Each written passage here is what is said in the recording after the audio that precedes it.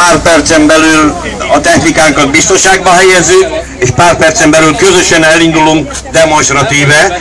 Ugyanis úgy, ahogy Laci mondta, nem tilthatja meg senki nekünk, hogy a magyar jelképeket ne vigyük magunkkal. Ki mondta ezt? Senki nem. Nem tilthatja meg, senki. Senki nem Azt hittem, tilthatja hogy meg azt mondja, hogy ne vigyük.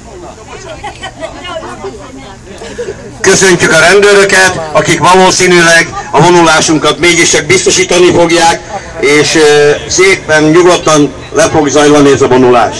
Úgyhogy elpakolunk, és indulunk. Thank